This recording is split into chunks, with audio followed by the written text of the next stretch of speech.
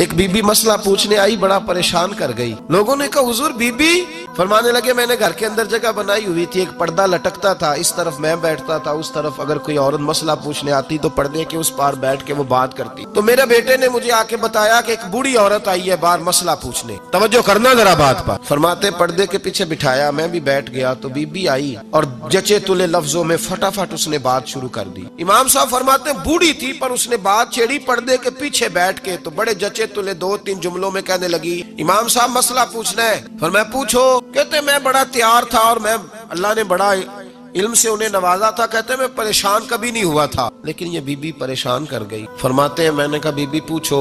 कहने लगी, हुजूर, मैं मेहनत की कमाई से रोटी खाती हूँ, चरखा रखा हुआ है। सूत काट के उसकी कमाई खाती हूँ। सारा दिन मजदूरी करती हूँ कभी कभी काम रह जाता है तो चौदहवीं के चाँद की रोशनी में छत पे बैठ जाती हूँ। तो चरखा काटती हूँ, बादशाह का लश्कर मेरे करीब से कभी कभी गुजरता है। उनके पास बड़ी बड़ी लाल टहने बड़े बड़े उनके पास रोशनी के बंदोबस्त होते लश्कर बादशाह का गुजरता है तो बहुत बड़ा लश्कर होता है, कई किलोमीटर तक वो गुजरता जाता है। तो कई दफ़ा अचानक उसकी रोशनी भी मेरे चरखे पे पड़ जाती है।